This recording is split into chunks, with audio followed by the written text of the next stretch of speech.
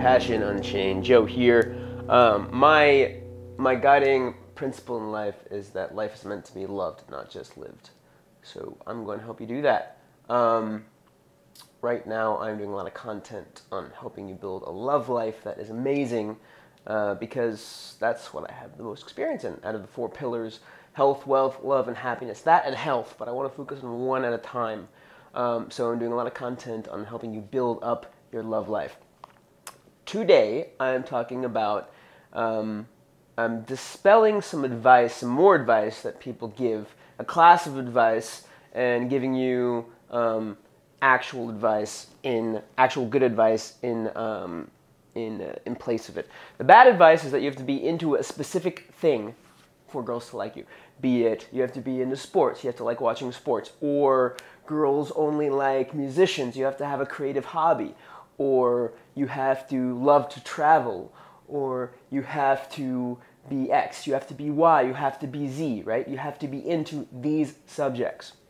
Now, um, I will say a slight exception is working out, but let me talk talk to you about why it doesn't make any sense. Um, some, first of all, it's more important that you have a passion than what your passion is maybe some girls are partial to guys who are into certain things because they admire those qualities or because the uh, maybe men in their family were into those things and it makes them feel more um, more connected to you right? I feel more connected to women who are into art or have creative hobbies because uh, my mom was a very creative woman. So when i do crafts because i would do crafts a lot with my mom. I would do a lot of art and when I do art and craft with a girl, I feel really connected to her just because of my prior experience. So maybe there are a lot of women, or not maybe, there are a lot of women who would sit down and watch football with their dads. And so they, if you're into football, that is really important to them. And if you're not, then she can't feel so connected to you. But there are a ton of girls who aren't. And maybe there are a ton of girls who are, not maybe, I keep saying maybe. And there are also a ton of girls whose fathers were musicians. And so um, they would watch their dad play guitar or they would uh, try to play guitar with their dads when they were little girls. And so when you play guitar, it makes them feel connected to you. And if you don't, they don't feel connected to you. Um, there's so many experiences that girls have with their parents, with their dads.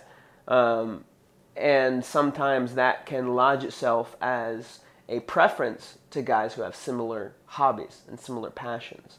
I know that for me, it's the same way with girls. I am very attracted to girls who have creative hobbies and creative passions because of my prior experience. Um, so, but is it mandatory? First of all, is it mandatory? And second of all, is it universal? Are there any universal hobbies that you should be into? Um, now, number one, is it mandatory? No. For some girls, though, it might be. For, for one girl, it might be important that you be into sports.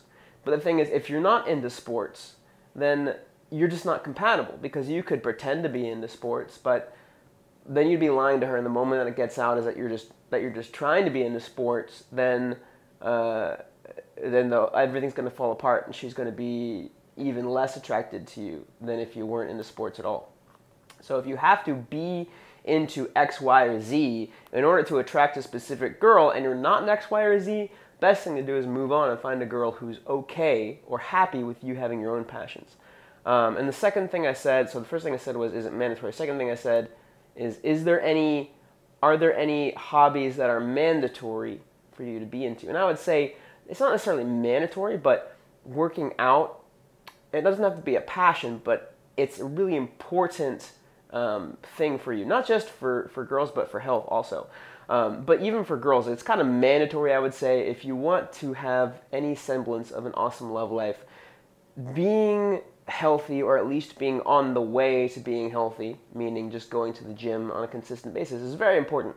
Or it could be running. You don't. It doesn't have to be the gym. It could be some kind of exercise. Um, I would say do cardio and work and uh, strength training of some sort, and um, the exact type isn't so important. It's just because of health, because of what it does to your mood, and because uh, girls find it extremely attractive because you're a capable man who has discipline and um, and is able to to to be physically strong. That is very important for most girls. Now, can you get girls without doing the, that? Yes, but you're playing on hard mode because you're going to have to put many more numbers in to attract the same amount of girls that you could have just attracted by going to the gym and having an exercise habit. So I would say exercising is mandatory. Um, as for any, everything else, just hygiene. I mean, that's just a habit. It's not a passion. So there are habits that are mandatory. I would say grooming and hygiene, but those those aren't the same as passions or things that you're into. So there's not really anything that you're. You don't have to be into working out. You just have to do it. So I don't think there's any mandatory things you have to be into. That said, you having I did a video on this. You having passions, you just having passions is important. Girls want to find guys who are into something, who have a mission in life, and who are passionate. Um, you don't even have to have passions that she likes or that she appreciates. Just the fact that you are passionate is enough to make girls excited about you. To have the oh, oh this guy's into this, like he's going somewhere. He's just, he has interesting things he does. Um, I can't count the times that I've been into something like probably making, um, creating with my hands. Excuse me, is a huge thing for me. And a lot of girls I've dated are not into that, but they like watching me do it, and they like listening to me talk about it because I'm passionate about that, and they want to hear me talk about it. Kind of the same deal like Anthony Bourdain, may he rest in peace. You don't watch No Reservations because you love travel and food. I mean, you might, but usually most people watch that because Anthony Bourdain loves travel and food. Same with Guy Fieri. You don't watch his shows because you like exploring random diners.